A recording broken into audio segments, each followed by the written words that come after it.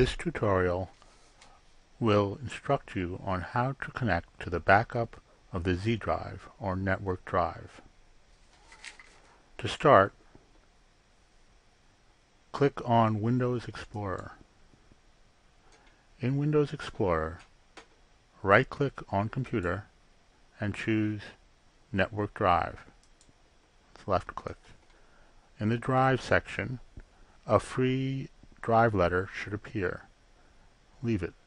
In the folder section, type backslash backslash 129.98.51.130 backslash capital Z D R I V E. Click Connect using different credentials and then click Finish. In this dialog, enter backslash the credentials you were given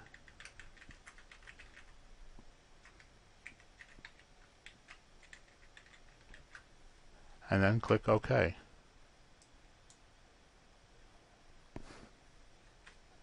You are now connected to the backup of the Z drive.